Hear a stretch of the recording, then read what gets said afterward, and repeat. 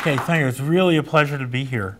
Um, this is the culmination of a very long and beautiful process, and I can't imagine this book having worked out any better.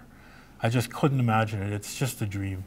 So, at any rate, I want to talk about. I'll tell you. Uh, uh, Sanjit asked me to say something about the evolution of behavioral economics, so I'll tell one story, two stories, um, both about Ernst.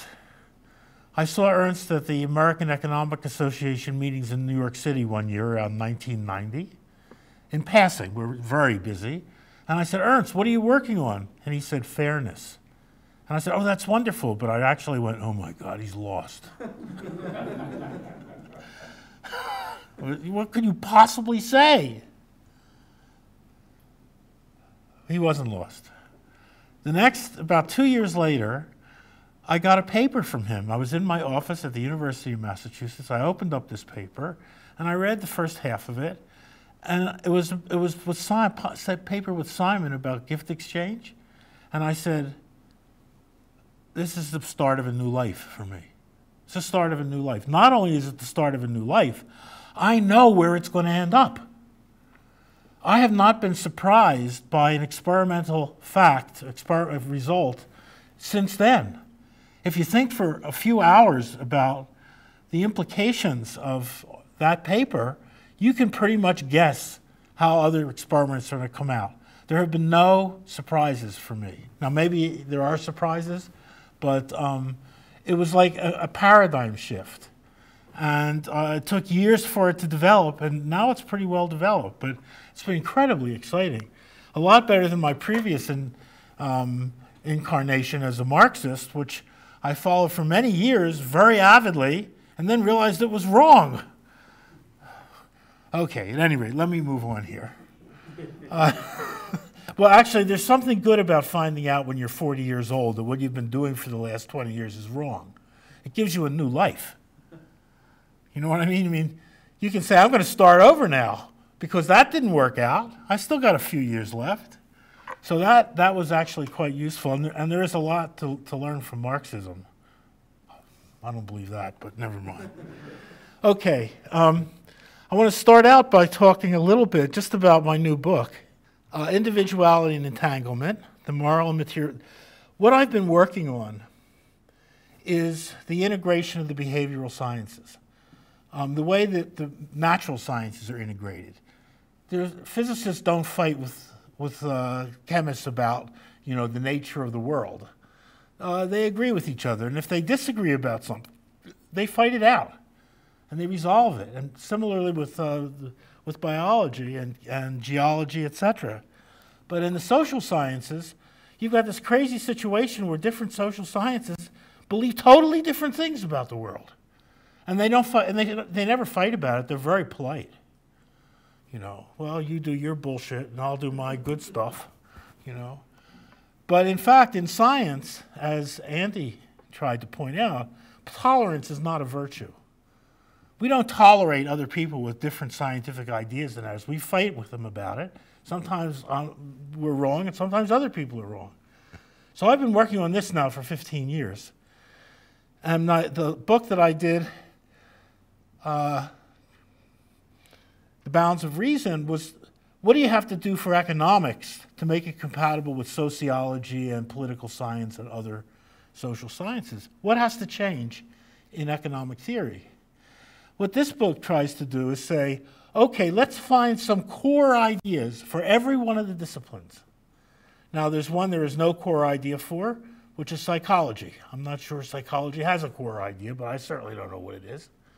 But for sociology, economics, biology, anthropology, um, and, and, and political theory, I think there are core theories, and I may be wrong of what they are, but at least I'm trying. And if I'm wrong, let somebody else correct it. Um, economics and biology already have core ideas. Uh, they're wrong, but they're core. Sociology and anthropology and uh, political science have no core ideas um, but they should. Uh, at any rate, that's what my book is about. Every chapter is about a different discipline, really, in some sense, more or less fundamentally. So I can't possibly talk about it all. I'm going to talk about politics mostly today. Um, okay. Yes. Um, okay, I already talked about that. There we go. This is better. Okay, so here's, I'm going to start with a rather middle advanced chapter of my, of my book, Core Political Theory. The core political, the core of po political theory, I say, is that society is a game with rules. People are players, and politics is the arena where we affirm and change the rules of the game. Unlike the rules in standard game theory, social rules are continually contested by players. Players lie to scrap old rules and replace them with new rules to serve their purposes. That's what political uh, dynamics is. Now, usually societies have rules on how the rules are changed. But people don't always play by the rules when they want to change the rules, which makes the dynamics of societies very complex. But these dynamics are always dynamics about the changes in the rules of the game that govern social life. And the reason that's important is that um, we're the only species that actually creates social rules for ourselves and who understands that you play by the social rules. At any rate, in my book, the, this, the individuality comes because, in fact, by contrast with other social species, the rules in human societies do not change through some inexorable macro-social process or biosocial or biochemical dynamic. Um, rather, our social life flows from the fact that we construct and play social games. That's the heart of political theory, I say. We,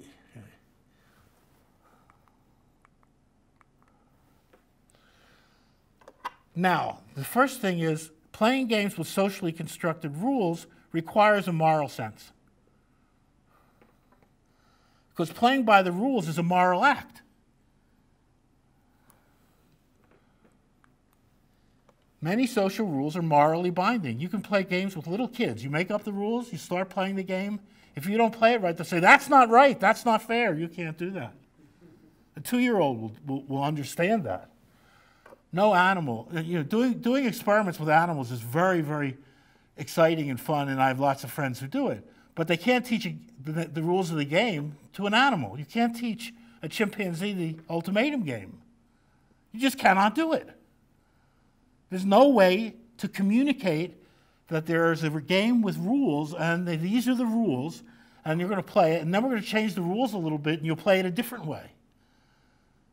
So even though animals play games, they play games that are inscribed in their genome, but they don't change the rules of the game, and they don't understand that there are rules of the game that go that are, that are not just simply expressions of their genetic structure. So that's what's special about humans. We have a moral sense because our whole society is a game that we play with rules. And people gain satisfaction by playing by the rules. They're ashamed when they break the rules, and they're offended when others break the rules. So, this is the centrality of moral theory in political theory. And what's special about humans. Now, there's a sense in which other animals have moral senses, but only one sense, I think, that some, some animals care about conspecifics. That is, they care about the suffering and the pleasure of others of their species. That's other regarding preferences. But humans have another kind of preference, which is Kantian, really, um, which is abstract, universal preference. We do with the right thing. We do the right thing because it's the right thing to do, not because we're trying to help or hurt other people. So that's what I'm going to be talking about today. Now, even societies, oh, what did I do? I'll get used to this.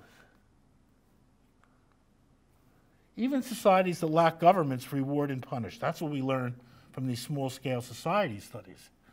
That the morality is quite in our hunter gatherer past. Um, Thomas Hobbes famously said that life was a war of all against all before you had institutions. You know, life, uh, the life was poor, nasty, brutish, and short. Well, it may have been short, but it wasn't any of the other things, as far as we know. Um, people have been humans as long as they've existed have had have had probably societies organized by rules into games and with morality. Um, our moral sense was developed long before there were courts, jails, and teachers. Um, despots would love to be able to determine the moral sense of their subjects, but they generally cannot. This is one of the most incredible things about humans. You can't force people to have a particular morality. I mean, the Soviets tried to do that for years, you know, preaching this stuff, preaching that. This is the way the good worker is. And nobody believed it. They didn't believe it ever. It's not like they believed it for a while and then they said, well, maybe that's not right. They actually never, it never caught on. Morality has a dynamic that cannot be controlled by states. New technology, of course, might change this. We could have some new technology where every morning people take a pill and they do the right thing according to the good leader. It sounds funny, but it's not. I don't mean it to be funny. I hope that's not the case, but it's certainly one of the possibilities out there. Um,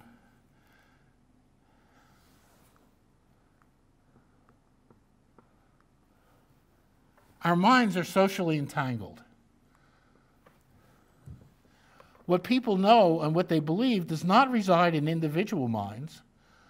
Minds are socially networked with cognition distributed across the networks. Now, in my book, Yes. In my book, I spend a lot of time defending the rational actor model. And I'll talk about that today. But one serious, there's one serious problem with the rational actor model in all of its forms, and that is the assumption of the subjective prior. Individual has a subjective prior. In the real world, people have cognition that's just it's distributed across our network of minds. It's not just me. It's not my ideas. It's our ideas. I believe in them because it's our ideas. Um, now, that makes it harder to do social theory, but it doesn't make it impossible to do social theory. We've been talking, Ernst talked about some of that just previously. We have to talk about how people network their minds and their, their personas into social aggregates that determine what they believe and how their beliefs change over time. Um, and I want to argue, what I, I argue is that entangled minds produce social behavior that is rational,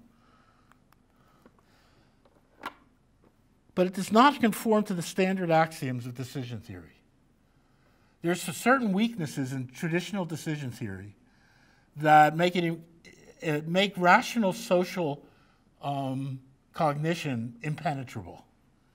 It cannot be modeled within the traditional theory. So we need a, a, a, new theory of social rationality with the axioms and all of that stuff. And I start to do that in my book.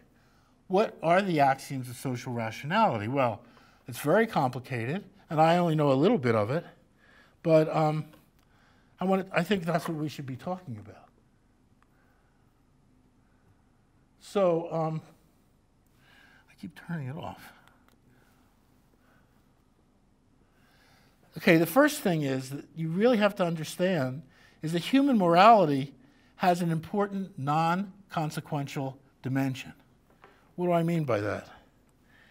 Individuals generally do the right thing when they do the right thing, not because of the personal or social consequences of their actions, but simply because they believe it is the right thing to do.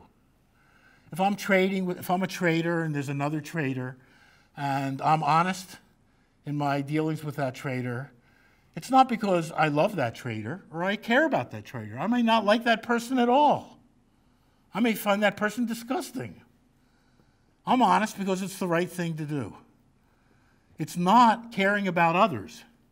Non consequential morality is not caring about others. It's not caring about social consequences of your act. It's just doing the right thing. And this is something that is just characteristically human. Okay, so I've done that. I do what I do because honesty is good. Now, of course, I'm not always honest, but when I'm not honest, I feel very bad about it.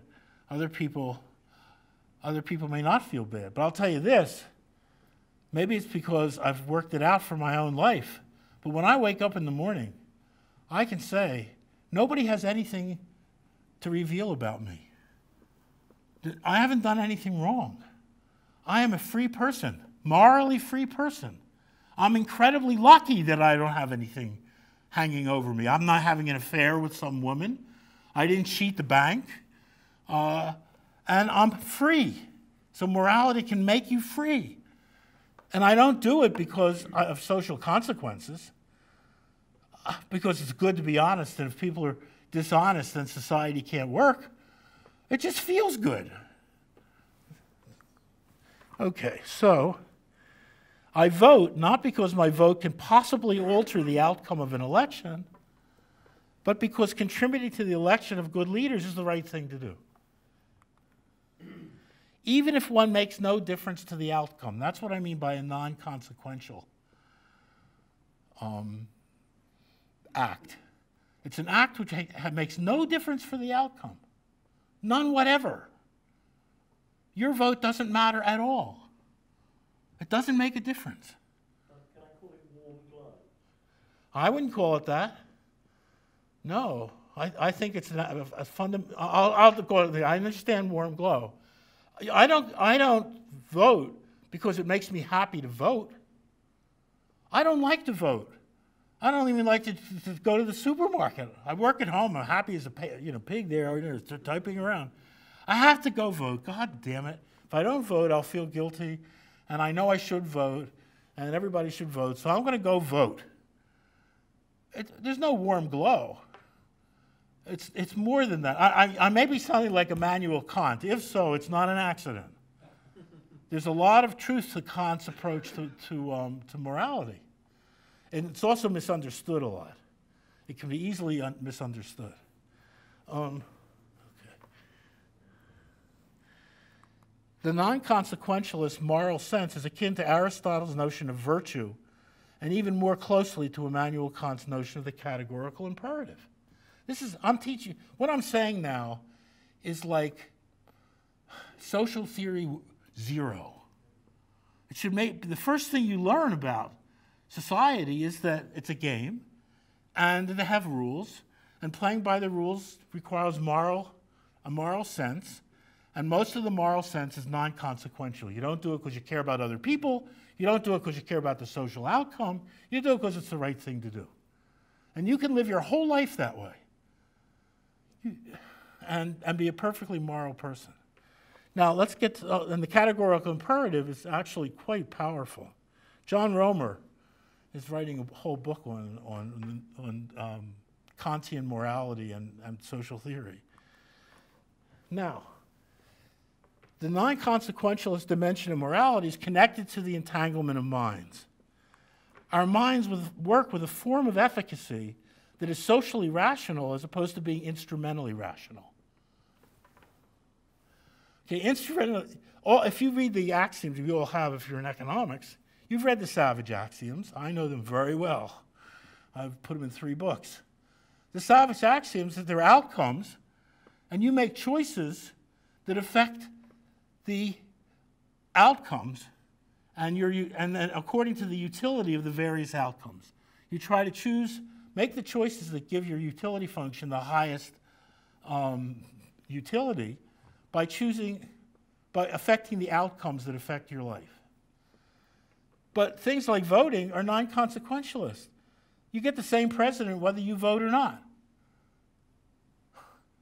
And yet, and by the way, it's not just the zero one choice. It's not unless I vote, I don't vote. I mean, if, my, if I have two sick kids, I might not vote. If I have zero sick kids, I will vote. If it's really raining out, I won't vote, maybe. Or maybe I will. So there, these are trade off choices right in with everything else about, you know, uh, your daily Uh, uh, choices of, of consumer goods. So this instrumental rationality that we see in the Savage axioms is quite absent from non-consequentialist behavior. So non-consequentialist behavior would be just considered completely irrational. I call this distributed effectivity. Now let me give you an example. Is the belief that one has helped a candidate for a political office to win an election despite the obvious and well understood fact that the candidate would have won even if I had not voted or even if I had voted for another candidate. Right? I say, someone says, Well, did you help Hillary Clinton win? Oh, yeah, I voted. I even gave her money. Now, I'm not to talk about giving you money, just, just voting. Uh, yeah, I voted. How did that help her win? She didn't win by one vote. She won by 374,000 votes. So, how did you voting help her win? Now, what's the answer to that?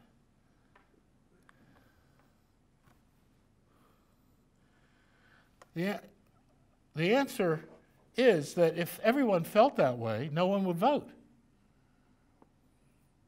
So the categorical imperative says, I have to vote because if everybody had the mindset that you just expressed, why vote? Because you can't affect the outcome. Then nobody would vote. And then we could have no democracy. That's the categorical imperative.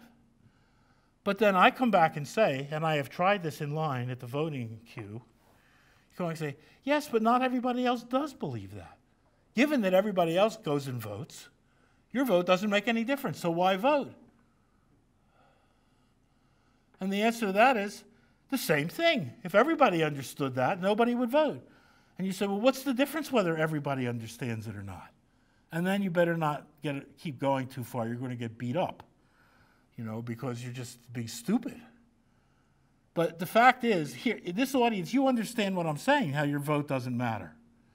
Go to an audience where they haven't studied these savage axioms and they don't know what uh, you know, rational decision theory is.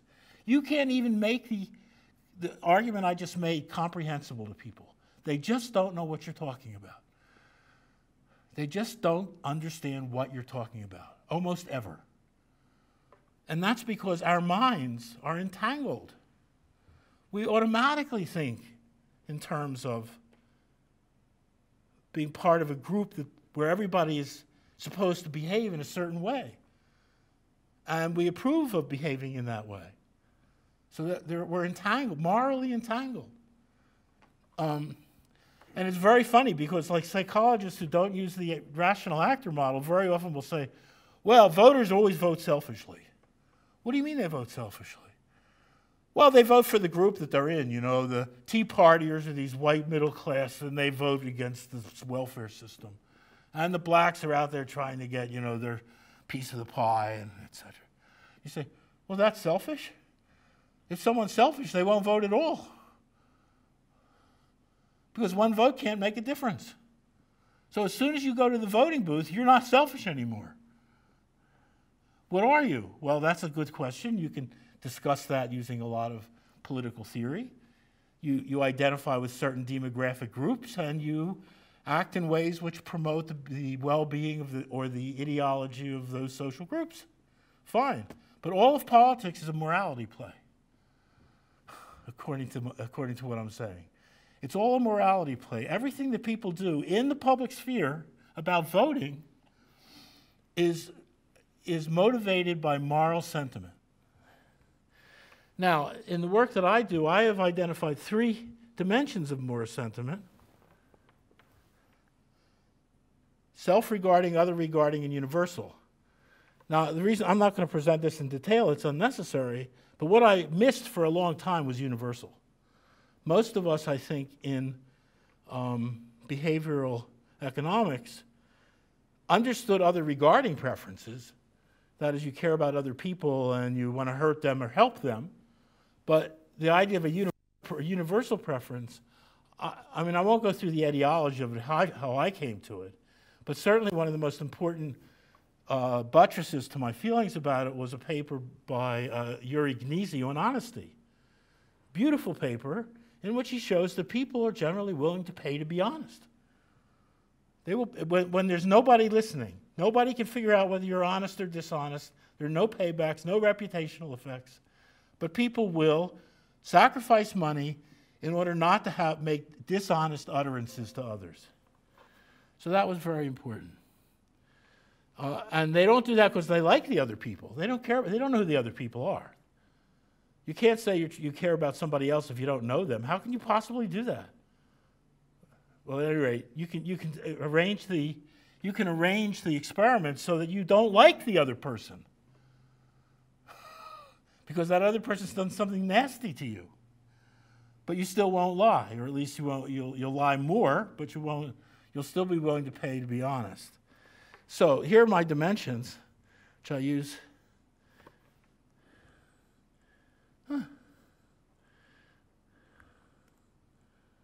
Okay, so those are three types of morality. Some universal moral principles can have consequences. For instance, when I help a stranger in need. When I go to the airport and I can't find out where I am, and I stop someone and say, How do I get to Concourse C? They tell me. They stop, they incur costs to help me, and they don't care about me. It's just the right thing to do. If someone stops me in the airport, I tell them how to get to Concourse C. In fact, I tell them even if I don't know how to get to Concourse C. You don't believe that, but people do that. I used to drive a truck when I was a kid, and we didn't have GPS or even maps. So when I went in Philadelphia, I'd go to Germantown, they'd go to a certain street. And I'd say, How do I get? I'll stop someone, how do I get there? Oh, that's a, two blocks up, turn left at the church, and blah, blah. No such thing, you know. So I made up, even at the age of 19, I made up a street called Jalopy Street. There's no Jalopy Street in Philadelphia. And I went to Germantown and I'd say, So how do I get to Jalopy Street? Well, on the post office on the right, you know, et cetera, et cetera. Because people want to help. They love to help. they don't have to know. They don't care whether you're driving you out of the range of where you want to go. They're hurting you, but they're helping the stranger, you know. So What do you mean they didn't do the right thing? I didn't say that. I said people feel good when they do the right thing. So they, they want to feel bad? No, they feel good. They did. They think it's the right thing to give directions to people. If you say, if they said to you, if they said to me, you give the wrong directions. well, they think maybe it is Jalopy Street. You know, they're not absolutely sure it's not. They think I was up there once visiting my brother-in-law, and I think it was called Jalopy Street. I mean, you can make up all sorts of stories. At any rate, so yeah. So it, it brings the question: What is the right thing? What is the right thing to do? How do we identify? I mean, for- Okay, now I have a slide on this. I'll say it right now. I don't care. I want to figure out how people behave. I don't want to find out what the right way to behave is. That's what philosophers do. You know, this is this is the true morality. You know, you you um, utilitarianism or virtue theory or deontological theory. These are the right principles of virtue of, of, of, of morality. And I said, well, I, human beings use everything in the book. They use them all and they mix and match. And we have to understand how people think of their own morality. Uh, but uh, I don't have to think about that. I don't know what's right or wrong. I don't care. I don't, I don't mean I don't care. I don't care in my persona as a researcher. Um, see what we have here. Uh, but they're also non consequentialist moral. I know I'm repeating myself because for a lot of people this might be new. There are non consequentialist virtues such as courage, truthfulness, and loyalty. That is, one is loyal not because you care about the person you're loyal to, but because loyalty is the right way to be. And, and bravery. You may not even care about who wins the war. Soldiers are brave and they don't even know who they're fighting. The famous Yeats poem, I know I shall meet my fate on high. So about a flyer who's flying, a, you know, in some European war, and he says, "I'm going to get shot down and killed." I don't even know who I'm protecting, but I'm doing it. It's my job. It's what I, it's it's my the culmination of my my being. So at any rate, these are varieties of moral behavior. Um, and I, I, I use this diagram sometimes. Homo economicus is self regarding and um, private persona. Other regarding, I call Homo socialis, you care about other people, the Mother Teresa's of the world. And universalist is Homo vertus.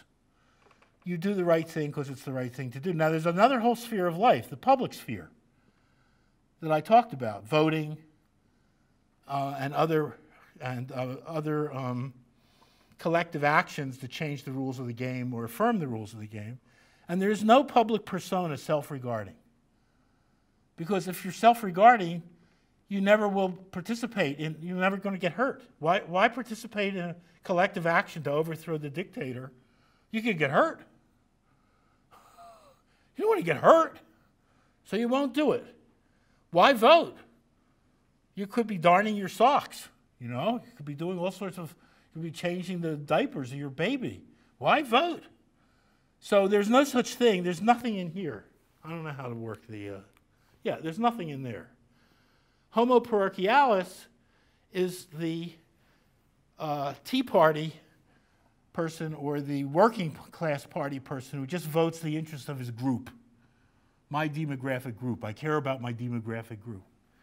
And finally, Homo universalis votes for welfare programs for other ethnic groups and gives money to um, fight, uh, just, fight for justice and uh, equality around the world and all sorts of other stuff. So that's a typology. But the public persona um, row is completely moral. So politics is a game of morality.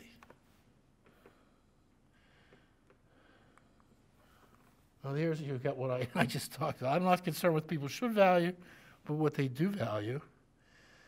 I'm not concerned with utilitarian, deontological, and virtue theories in philosophy to say one's better than the other. I think it's, I mean, this is what philosophers do, and I appreciate what they do. I read them all the time. Yeah, but I also like the ballet and the opera, and that doesn't mean that I bring it into my work. It doesn't have anything to do with my work. It's just a nice thing to do to understand, you know, to read Aristotle's virtues. Oh, the point is, real human beings trade off among personal, other regarding. Oh, God, it's this. Real human beings trade off among personal, other regarding, and universalist moral sentiments. One of the biggest things that economics can bring to moral theory is that moral rules are never absolute. There are always values that can be traded off against other values and each other. So, thou shalt not kill. Oh, yeah, well, there are cases where, you know, almost any of us would kill if we could. Or thou shalt vote. Yeah, you should vote, but, you know, if I'm here and I get stuck here, uh, you know, by, because there's a, a plane, a cancellation of my plane to the United States, I'm not going to hire a private jet to drive me home so I can vote on Tuesday. I trade off among these virtues. And, I, and even honesty, I'm very honest. I really am. I think it's a pleasure to be honest. But I can certainly imagine being dishonest. Uh, you know, the incentives are right. I'll be right up there, you know, stomping on the little old lady and taking her pocketbook. Bad example. Bad example. and um, finally, we discover through game theoretic, exper- theoretic experiments in laboratory and field that these trade offs can be modeled in terms of rational choice theory.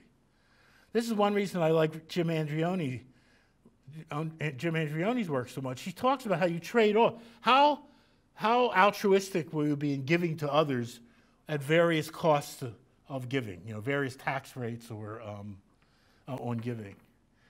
Uh, we trade off. Now, the next question I deal with in my book, it's pretty important, is some behavioral economists argue that people are not rational. In fact, if you ask your average person who reads, in where I come from, the New York Review of Books or something, and, and you ask them, what do you think of a behavioral economist is? Oh, that's someone who believes people are irrational. Is that not true? Yes, that's what people. But that, in fact, is uh, is a very, is not a really important part of um, behavioral economics. There certainly are systematic violations of the rational actor model. Huh. There are lots of them. The Ellsberg and Allais paradoxes are well known. And in my book, when I present the rational actor model, I don't present it as being some universal thing and then try to reinterpret every possible event that humans engage in to fit the theory. I argue in any complex system, no one analytical theory is going to cover everything.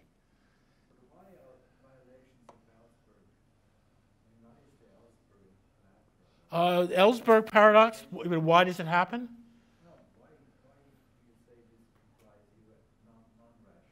Well, because people, ha- people will pay um, for zero information. Uh, they, they will pay positive amounts that give them zero return. Now, maybe I'm wrong. It's certainly not instrumentally rational. But um. I understand. You can, you can find, this is, by the way, of all science. You have a model, it's fantastic. It does 30,000 things really well, but it's got a few things it doesn't do so well. So then half of the com- community of scientists develop models that show that that works too. But it just doesn't work. There, there, in physics, there are things that physicists just don't understand. And every month you read the physics journals, they have a new solution for it. But they're all stupid. The fact is, the Ellsberg paradox is a real paradox. Sure, we can try to understand it, but uh, not, not using the rational actor model. Similarly, L- Allais. So we need other models. The problem I have is I haven't found any single other model that I think is, has any generality um, besides the rational actor model. So I just say there are anomalies and we can't apply it. When you want to apply the rational actor model, try it out. If it gives you really bad results, then go do something else. But it's not a critique of the rational actor model that it fails. That's not a critique. Okay. By the way, there's a nice analogy which I do use here. Denying the rational choice model is like asserting that people cannot see what is really there because people sometimes fall down the steps, or more systematically, or because laboratory experiments reveal that there are optical illusions. We know that there are optical illusions, they're incredibly powerful. I often present them when I give lectures. You know, lines, one line looks bigger than the next, but in fact, it's the opposite. So two things look like they're shaded differently, but they're actually the same shade. And after you tell people they're the same shade, it still looks like they're, they're different. You don't change your mind because you see that you made a mistake. But do, do psychologists go running around and say, well, you know, humans can't see right? Um, you know, we just can't see because look at all these optical illusions. But that's what the behavioral economists do when they say, oh, humans can't make decisions. They're really poor decision makers. Why? Well, look at Linda, the um, bank, bank teller. If you don't know that, it doesn't matter. The point is, if you're really good, you can come up with something where people make stupid mistakes systematically. Just like in optical illusions. If you really know vision, you can work new optical illusions that are absolutely uh, persuasive to almost every human being. So my point is that what we're trying to do is use rationality theory or rational choice theory in order to understand how humans behave, understanding also that sometimes it doesn't work. Sometimes we need other theories. Um, already did that.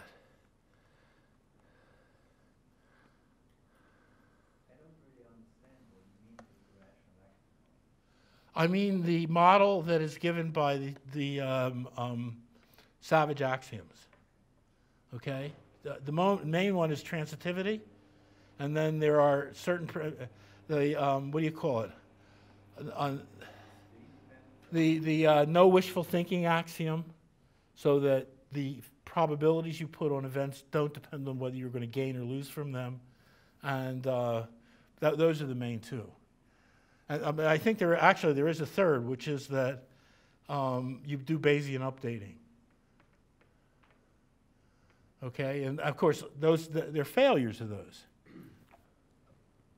So I try to explain why why according to this, according to what I said, all of political behavior, or at least canonical political behavior, that is, behavior where the individual is irrelevant. One single person making a different decision is not going to change the outcome. Not, for, for instance, uh, when I've gone through, uh, when I was starting to write the chapter that I did on uh, political participation, I found that if you go look at all elections in the United States, Canada, Australia, New Zealand, and Great Britain, back to 1840, no election has ever been won by one person. It's not, I'm sorry, decided by one vote. There's never been a, a, pivotal voter. Never.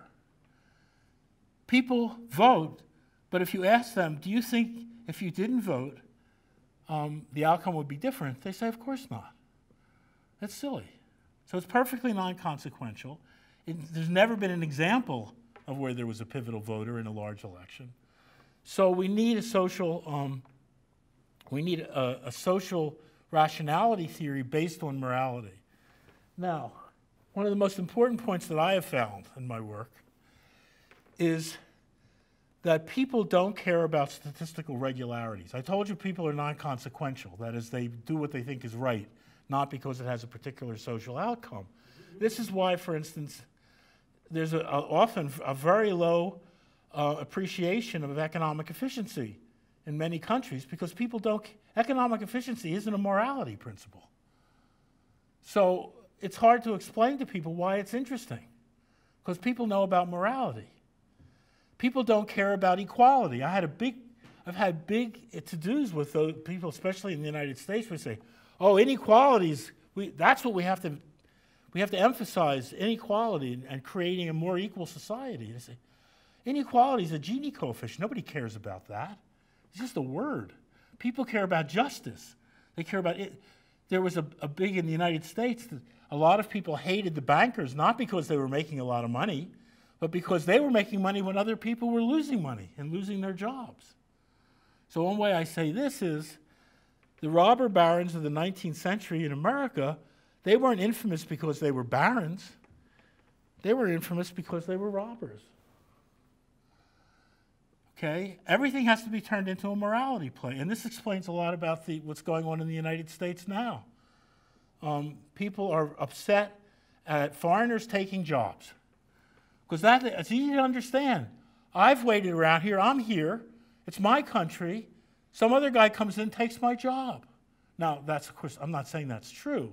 It's a perception, um, and it, it's a moral perception. It's one you may not agree with. Again, I'm not saying it's right or wrong, but that is what it, people did.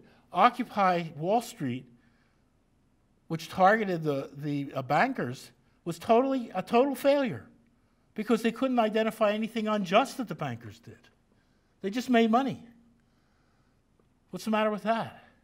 So, at any rate, I'm, i want to stress that that um, that. Uh,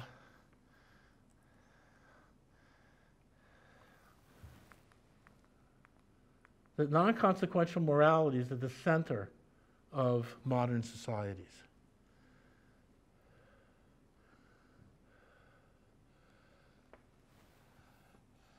In the current election period in the United States, people don't even care about the social issues. I mean, Donald Trump says he's going to lower taxes. Hillary Clinton says she's going to raise taxes on the rich, and I mean rich, richer than me. No one under $250,000 a year will have their taxes raised. The rich will have their taxes raised. You think this has anybody support her because of this? No.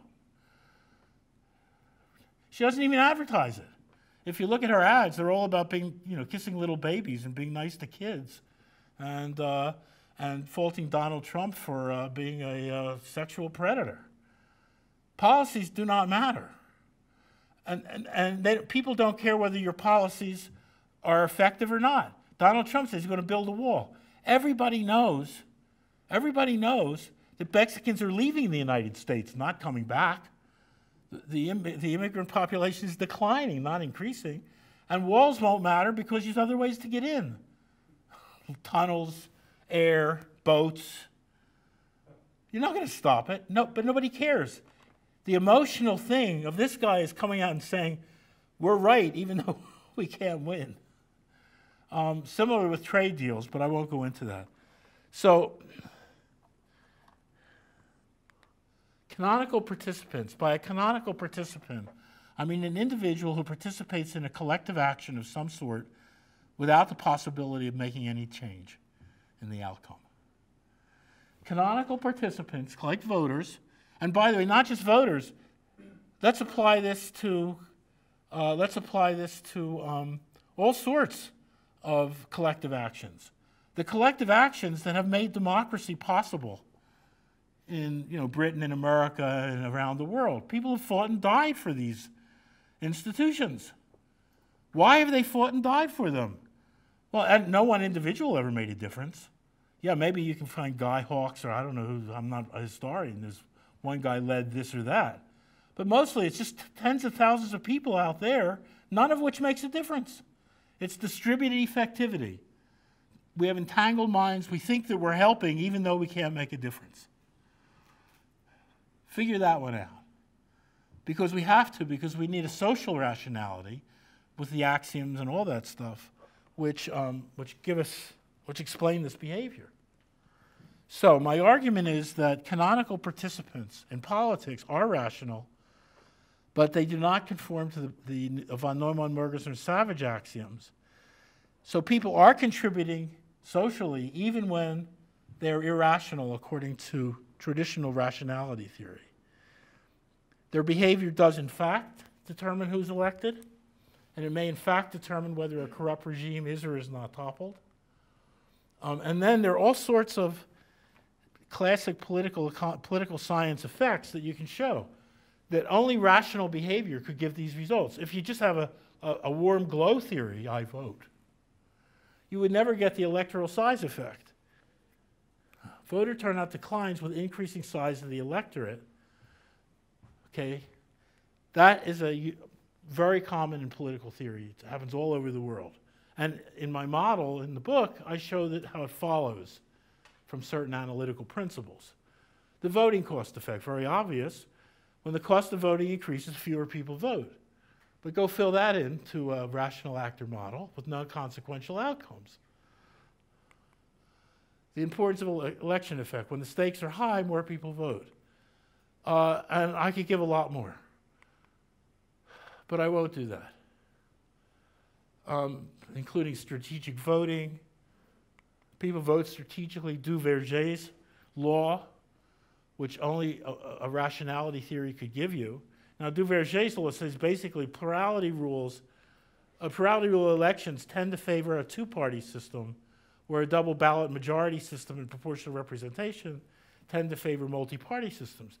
This is because of the way people vote, the way they decide who to vote for. So when people vote, they're not just voting, they're making certain rational calculations about how their vote is going to affect the outcome, even though their vote individually can't affect the outcome in any way, whatever.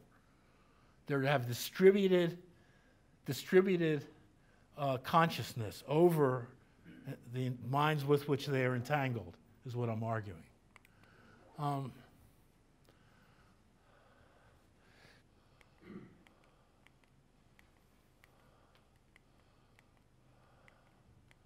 oh, this goes on and on, doesn't it? Okay.